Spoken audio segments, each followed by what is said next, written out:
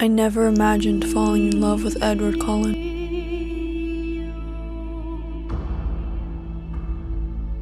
He never blinked.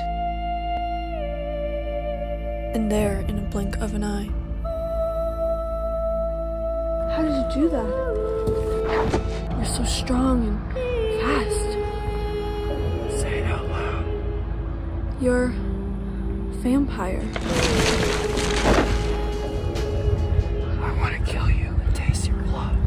I don't care. I'm not afraid. I'm horny now. I can't live without you. Everything changed. I am hungry.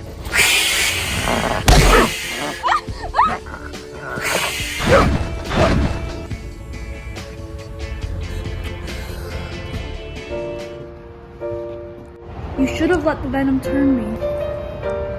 Not yet.